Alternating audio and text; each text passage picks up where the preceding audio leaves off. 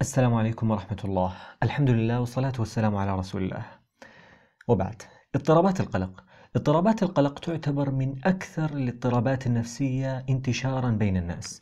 بل إن بعض الإحصائيات تشير إلى أن 40% 40% عدد كبير ترى. 40% من الحالات الجديدة التي تأتي إلى العيادات هي في غالبها هي اضطرابات قلق. ذلك أن اضطرابات القلق متنوعة متعددة اضطراب قلق الانفصال البكم الانتقائي اضطراب الهلع اضطراب القلق الاجتماعي اضطراب القلق المعمم اضطراب الرهاب. كل هذه تعتبر من اضطرابات القلق. اضطرابات القلق طيف واسع من الاضطرابات. ما تتسم به هذه الاضطرابات بشكل عام هي نوع من الانشغال الزائد الخوف الخوف من شيء غير معروف أحيانا وكثير من سلوكيات التجنب تجنب كثير من المواقف وتجنب كثير من الأشياء لتجنب الخوف والقلق.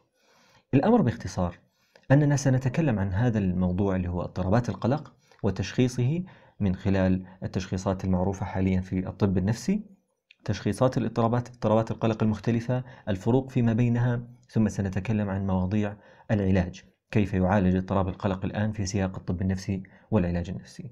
هذا ما سنتكلم عنه إن شاء الله في هذه المادة. نبدأ خلال الأسبوع القادم إن شاء الله في هذه المادة مع المشاركين معنا على منصة باتريون آه سيكون هذا متاح فقط للمشاركين معنا في درجة الداعم المتخصص الداعم المتخصص. لأن هذا الأمر يعني المتخصصين أو المنشغلين سواء في الطب النفسي العلاج النفسي الاستشارات النفسية الاستشارات التربوية الناس المهتمين في مسائل التربية والتعامل مع البشر بشكل عام يعني. ف... والمهتمين طبعا بهذا الشأن. نراكم على خير. نسأل الله عز وجل التوفيق والسداد والرشاد والثبات. ونعوذ بالله سبحانه وتعالى من علم لا ينفع وقلب لا يخشع ونفس لا تشبع وعين لا تدمع ودعوة لا تسمع.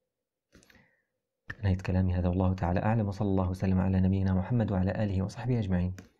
السلام عليكم.